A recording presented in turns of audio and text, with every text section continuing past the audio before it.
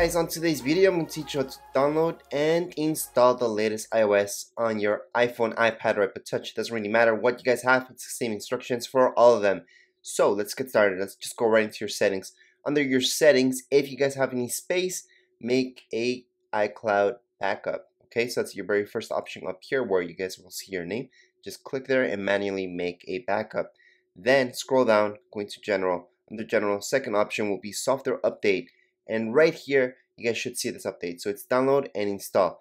So we can just tap on download and install. And yes first it's gonna download. So if your iPhone iPad touch for some reason turns off at that point it doesn't really matter. However when installing it's very important that it doesn't turn off. So make sure to hook it up to some electricity while you guys are doing this just in case nothing goes wrong.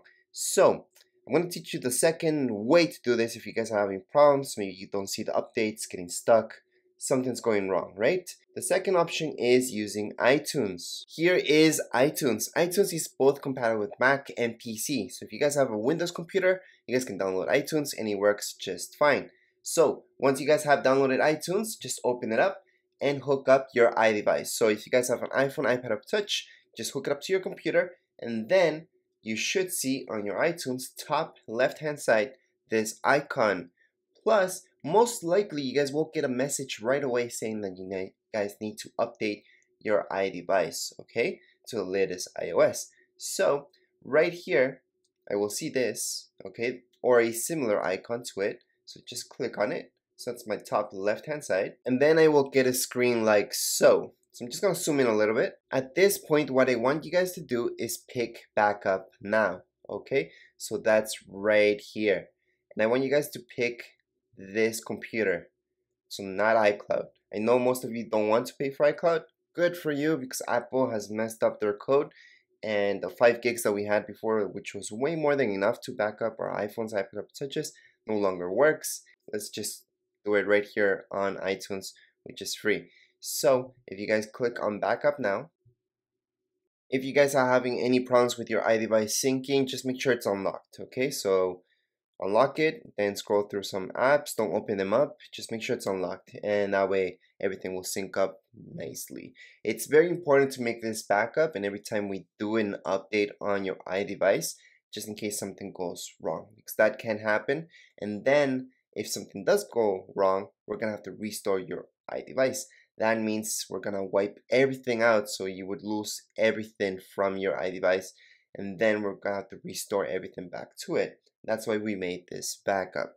After our backup is done, we should see something like this, so just nothing really. And then we can just go into update, which is up here. So at this point, let's just click on update and we should see a message like this popping up.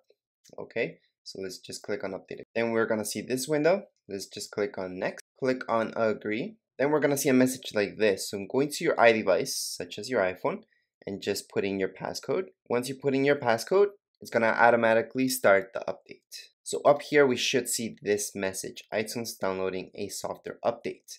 So that's exactly what it's going to do. It's going to download and then install. At this point, since you guys have it connected to your computer, just leave it alone. It's going to download, it's going to install by itself, and you guys are set. Then you guys will see this screen right now. It's going to say verifying iPhone update. So your iPhone, iPad, or Touch should go into a screen where you just see the Apple logo plus a loading bar. So right now you should see Apple logo, a loading bar, and this screen on your iTunes should just say verifying update.